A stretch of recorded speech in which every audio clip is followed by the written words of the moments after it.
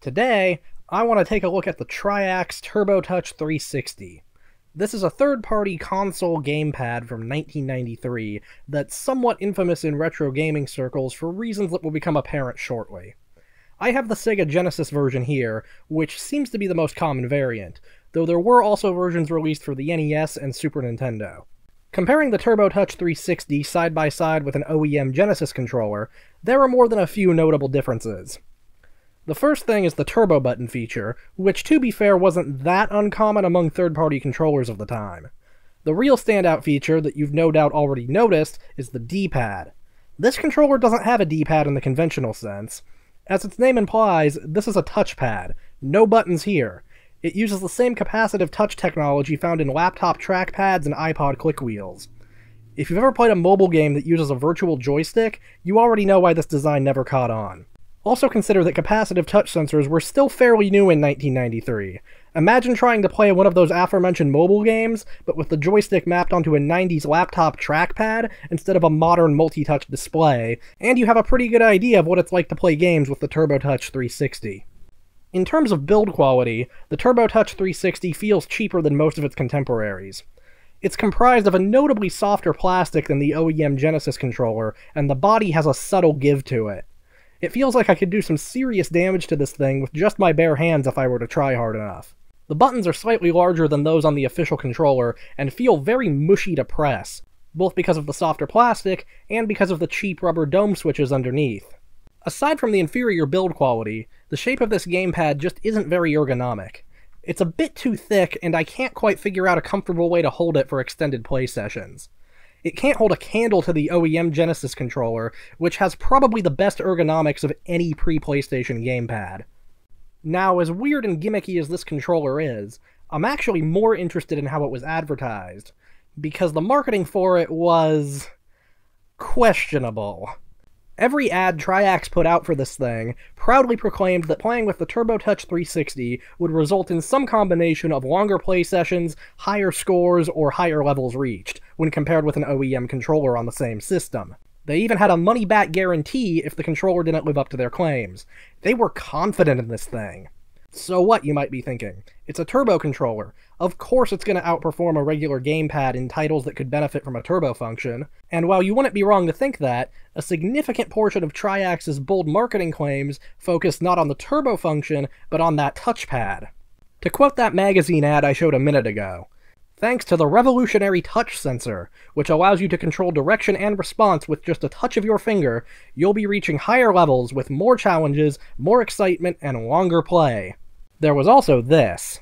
I have a touch sensor for movement in any direction. I have a rocker switch for up, down, left, right movement. I can easily move diagonally and in a circle. That's tough for me. I can move objects on the screen as fast as I can move my finger. I can't. I'm guaranteed for longer play and higher levels. I'm not. Triax sure seemed convinced that the touchpad in and of itself would offer a competitive advantage over a standard D-pad, and strongly implied that said advantage will have tangible benefits in any game requiring quick reaction time.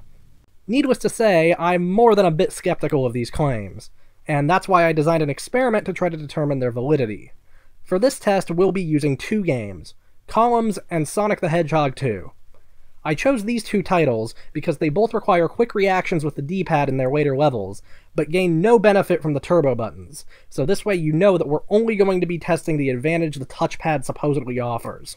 I also enlisted the help of my girlfriend so that I would have a larger sample size and could get a few more data points.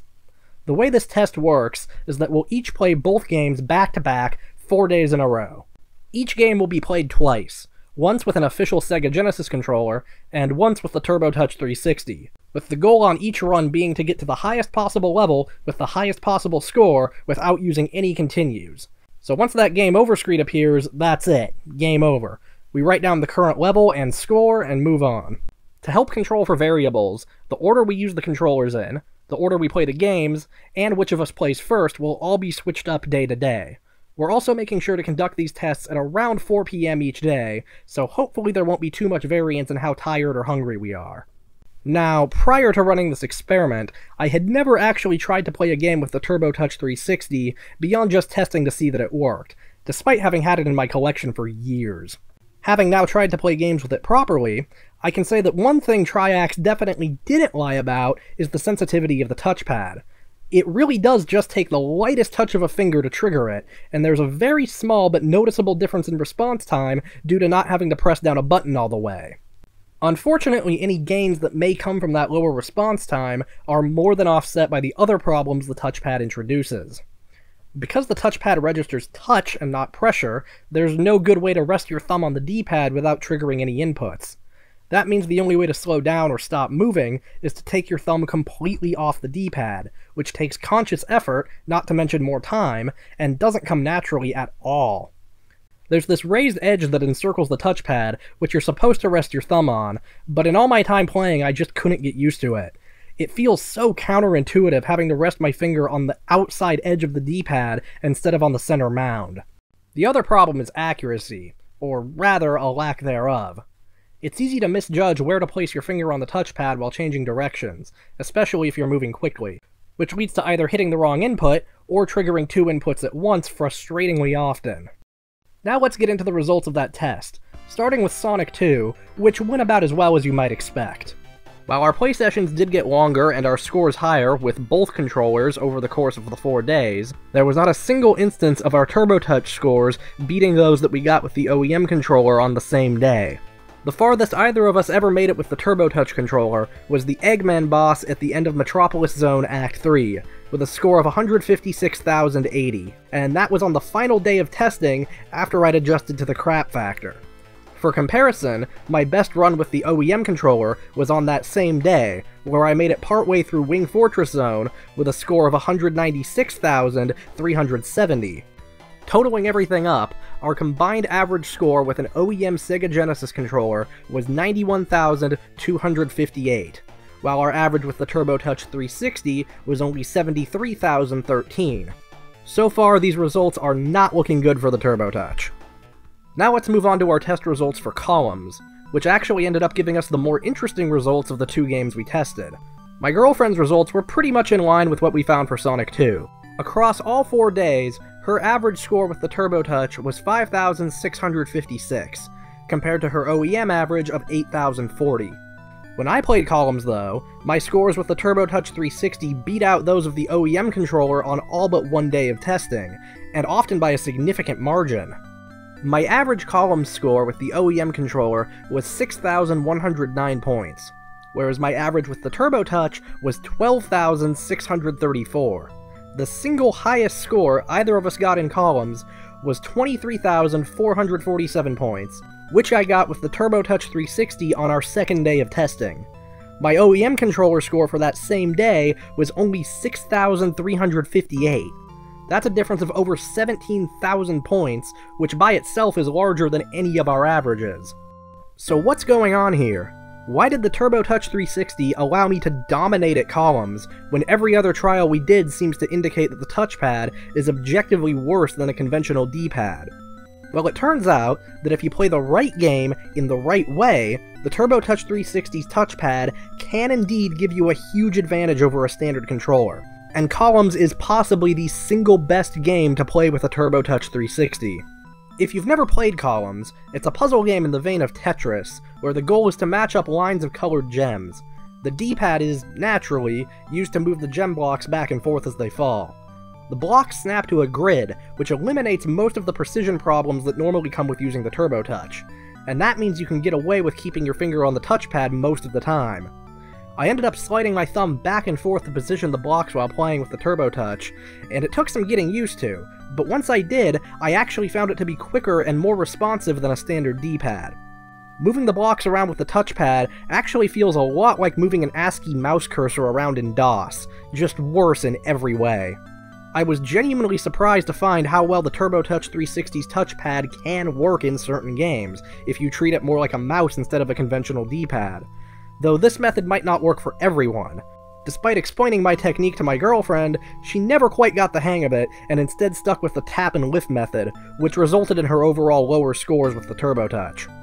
Out of curiosity, I decided to try out a couple other games that I thought might benefit from this more mouse-like input method. Now, I didn't do any extensive testing with these, I just played them briefly to see how well they work with a touchpad. First I tried Devilish, which is a breakout style game, and that works decently well. I didn't have to take my finger off the touchpad, but the input felt like it was constantly fluctuating between unresponsive and oversensitive. It was definitely playable, but I don't think there's any reason not to just use a regular D-pad in this case. I also tried out Zero Wing, which worked okay, but the lack of multi-touch meant that I couldn't move the spaceship around like a mouse cursor the way I was hoping to. While the touchpad does work better here than it does in Sonic, it's still kinda finicky, and is a significant downgrade from a standard D-pad in terms of accuracy. It's also worth noting that even in a best case scenario like Columns, the Turbo Touch 360 just doesn't feel good to use. The shape and build quality of the controller, combined with the touchpad that gives no feedback, means that you probably wouldn't want to use this thing, even in situations where it could offer an objective advantage. I also have to wonder if games like Columns wouldn't work equally well with a more conventional mouse or trackball controller. Unfortunately, I don't have either of those for the Genesis to compare against, but if they offer a similar advantage to the Turbo Touch, then I can't imagine that anyone would ever seek out this controller over a better option. As far as the results of my experiment go, I'm hesitant to draw any definitive conclusions simply due to my tiny sample size of only two games with two people over the course of four days. I've compiled all my data in a spreadsheet, and that's linked down in the description if you want to take a closer look at it. Now, if anyone watching this actually has a Turbo Touch 360, I'd like to encourage you to repeat this experiment. Test more games, test on other platforms, and if you can, use more than one test subject. Then post your findings in the comment section of this video, because I'm really curious as to whether this awful touchpad can consistently offer an objective advantage in any situation. If I get enough of a response, I'll make a follow-up video compiling all the data people submit and hopefully come up with a more definitive answer. In the meantime, I'd steer clear of this controller, because unless you're playing columns, I'm pretty sure you're not going to be setting any world records with it. Thanks for watching this video. Be sure to leave it a like and subscribe to this channel if you haven't already. I've got some other videos up here on screen that you may like as well, so go give those a watch if you're interested. I think that's all I've got. Bye.